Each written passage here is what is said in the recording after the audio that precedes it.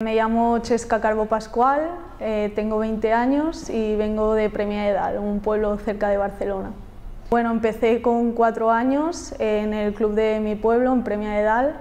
Jugué con chicos hasta los 11 años y ahí ya me fichó el español y estuve, bueno, he estado ocho años allí hasta esta temporada. Eh, me han hablado muy bien de este club, eh, el proyecto que, que, hay de futuro a nivel futbolístico creo que es muy bueno. Eh, es un club muy cercano, fue bastante inesperado porque fue, bueno, volví a un examen de la universidad y me llamó Ángel y, y lo cogí y bueno, cuando me dijo la propuesta que había y todo me pareció súper bien y el proyecto genial. Estoy en tercero de carrera estudiando fisio, me encanta, sí, sí.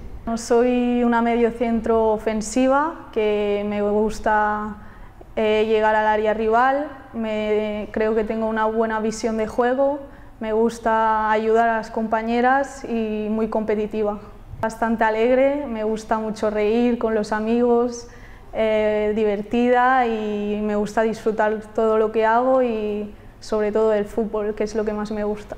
Espero competir contra todos los equipos, eh, creo que es una liga muy difícil pero muy bonita de jugar y creo que estamos haciendo un muy buen equipo para competir contra cualquiera. Es mi primer año fuera de casa, lejos de la familia y bueno, será un reto para mí, pero tengo muchas ganas de empezar a vivir a Avilés y, y competir.